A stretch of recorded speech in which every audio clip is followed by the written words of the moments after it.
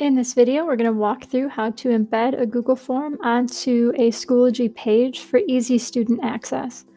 So we're going to start with our Google form. We've created all of our questions. When we go to send the form, we're going to get the embed code. So we have the actual email, the link, and this is the embed code. We're going to copy this whole embed code and take it to Schoology. In Schoology, we're going to go to Add Materials, Add Page, give it a title, and this is our Insert Content icon. So we're going to click on that, go to Image Media, from the web, Media, and paste the embed code. So this yellow box is the size that the form will show up in on the page, and we create.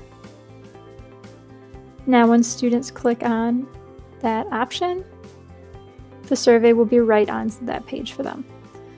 So if you have any questions, don't hesitate to reach out.